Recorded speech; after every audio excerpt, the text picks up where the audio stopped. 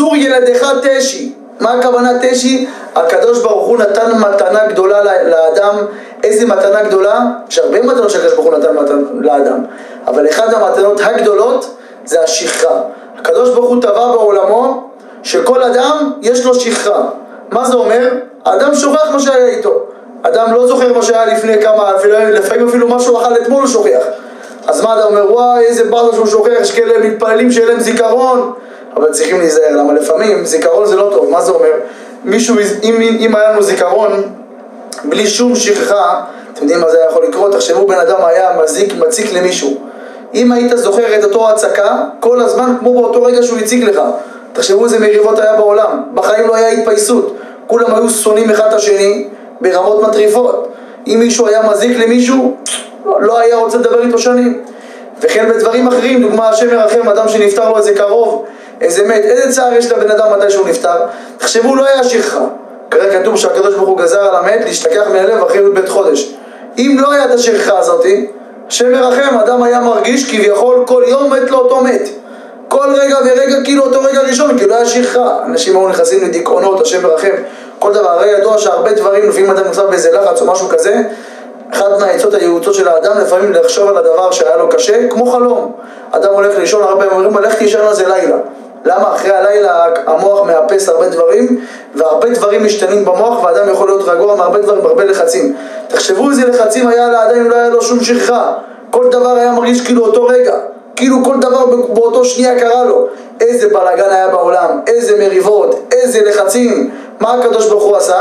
נתן לאדם מתנה שאין כדוגמתה, שהיא קוראים לה שכחה. הקדוש ברוך הוא נתן לבן אדם מתנה שאין כדוגמתה. למה האדם יכול להיות רגוע ושלם? אבל מה, הקדוש, מה האדם עושה אם זה השם ירחם, לוקח את המתנה הזאת שהקדוש ברוך הוא נתן לו ואת הדבר הטוב הזה ואיתו הולך נגד הקדוש ברוך הוא השם ירחם מה הכוונה? הוא שוכח את הקדוש ברוך הוא זה מה שהפסוק אומר צור ילדיך תשי הקדוש ברוך הוא ברא אותך שתהיה עם שכחה תשי תשכח שתשכח דברים אבל מה אתה עושה עם זה? ותשכח אל מחולליך. אתה לוקח את השכחה הזאתי ושוכח את הקדוש ברוך הוא השם ירחם. לכן אנחנו צריכים להיזהר. זה לא רק בשכחה, הרבה דברים. לפעמים הקדוש ברוך הוא נותן לבן אדם כסף. אנחנו צריכים להאמין שכל מה שיש לאדם זה מהקדוש ברוך הוא. הקדוש ברוך הוא נותן לבן אדם כסף. מה, הקדוש, מה הבן אדם עושה? לוקח את הכסף, עושה עם זה עבירות, השם ירחם. הקדוש ברוך הוא נותן לבן אדם כוח. כן, להזיז את הידיים, את הרגליים, את השיניים, את הפה, את העיניים, זה כוח שהקדוש ברוך הוא נותן. אנחנו צריכים להאמין שבכל יום הקדוש ברוך הוא מחזיר את הנשמה ומחיה את האדם. לא פשוט בכלל.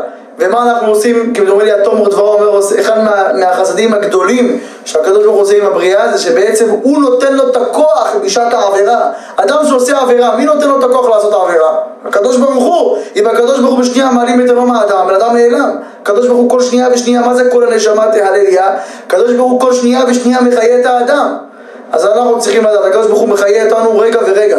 והשם מרחם אדם שלוקח את החיים ואת הכוח ואת היכולת ואת החוכמה לעשות נגד הקדוש ברוך הוא, זה, זה כפיות, הכפיות טובה הכי גדולה שיש בעולם. שאדם לוקח את הטובה שהשני נתן לו, ועם הטובה הזאתי הולך נגד האדם, לא רק שהוא לא מחזיר לו טובה, והוא מחזיר לו רעה תחת טובה, אלא עם אותה דבר שאותו, שהקדוש ברוך הוא נתן לנו, אנחנו כביכול הולכים נגד הקדוש ברוך הוא. לכן אנחנו צריכים להיזהר, צריכים להתחזק ולקבל על עצמנו, לנסות כמה שיותר להחזיר לקדוש ברוך הוא טובות.